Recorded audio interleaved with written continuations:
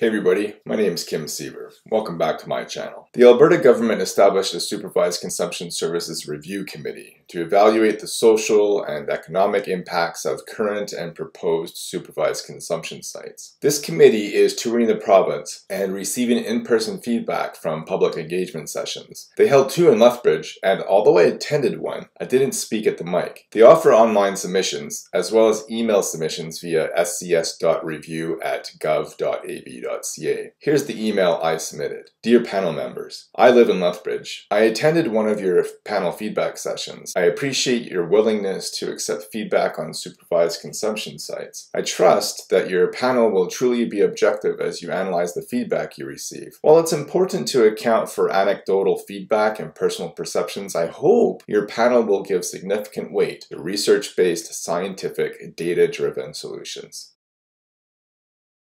You will likely have heard that crime has gone up in Lethbridge since the SCS opened here. You may have even heard that we have the highest crime severity index in the country. All that is technically true. However, if you choose to look at crime from that perspective only, I fear that could negatively impact the local SCS. Crime did rise in Lethbridge in 2018. However, it had been rising for several years prior to the SCS opening. Lethbridge's 2018 CSI was the highest in the country, but the year-to-year -year increase was was its second lowest in five years as well, according to 2019 data publicly available on the Lethbridge Police Service website. Crime in Lethbridge is tracking lower year to date compared to the same period last year.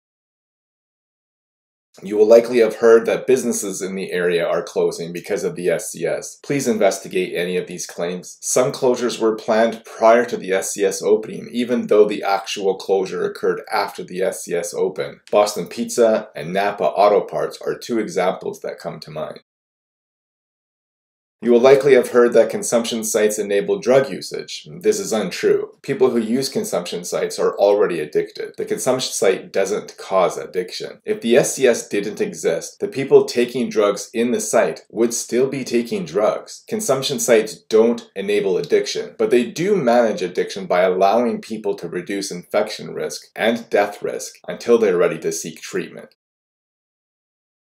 You will likely have heard that people are afraid to come downtown. The entire 21 years I've lived in Lethbridge, I've heard people making this claim. It used to be public drunkenness and homelessness. Now it's drug usage too. But there's very little risk to the public from those who are homeless or addicted. My family has lived downtown for nearly 14 years. We work downtown, play downtown, shop downtown, and we've never been threatened. I acknowledge that as a tall, kind of big white man, I may not come across as a victim, but my spouse and my children as well have not been threatened or endangered. People who are homeless and addicted keep to themselves. The fear people are reporting to you is a perception, not an actual broad threat.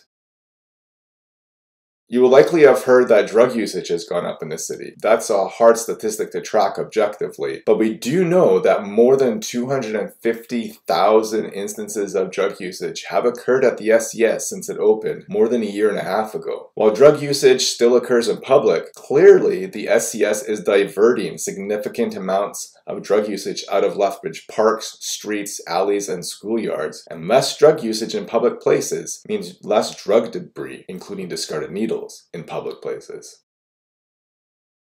And because Arches manages a needle distribution program, ensuring that free, clean needles are available to the public, any discarded needles that are found in public are less likely to be contaminated with infectious Even so, Arches has a needle collection program, and they pick up 83% more needles now than they did prior to the SCS opening. Plus, because of hundreds of thousands of instances of drug usage occur inside the SCS, Arches doesn't need to distribute as many needles. In fact, they're distributing 70% fewer needles than they were prior to the SCS opening.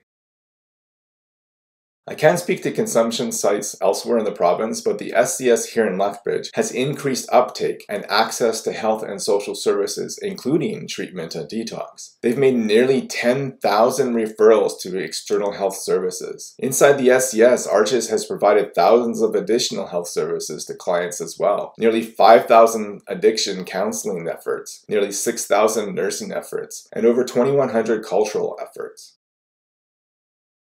As well, SCS personnel have reversed thousands of overdoses, saving lives. Of these overdoses, only 15.7% needed EMS attendance. Roughly 85% of overdoses were handled exclusively by SCS personnel. The SCS has four multidisciplinary teams, and each team consists of RNs, LPNs, primary care paramedics, addiction counselors, harm reduction specialists, and peer support workers. These healthcare professionals are saving lives and saving taxpayers money. If we shut the SCS down, public drug usage will increase. The number of needles in public will increase. The workload on EMS will increase. And the amount of money taxpayers have to pay towards the drug crisis will also go up. Having supervised consumption sites is critical to having a comprehensive, multi-pronged approach to addressing the drug crisis. Let's keep the sites and let's add detox services, intox services, treatment services, and supportive housing. If we can have all of these, plus other approaches such as eliminating poverty and homelessness, we can finally make some real progress on addressing the drug crisis. Thanks for your time and attention. Sincerely, Kim Siever. Thanks for watching. You can follow me online at siever.ca slash Kim. I'm also on Facebook, Twitter, and Tumblr. If you appreciate the videos I share here on YouTube, the posts I write on my blog, and the content I share on my other social media media accounts, please consider making a monthly donation either through PayPal or Patreon. Creating and curating this content takes a lot of time, but I'm also running a business, which makes my time limited. Your donation would mean I wouldn't have to drum up business to pay my bills, which would allow me to devote more time to researching issues like this one, and I could post videos like this more often. Thank you for your consideration and your support. If you agree with the points that I raised in this video, please give me a thumbs up and let me know in the comments below why. I look forward to talking to you again soon.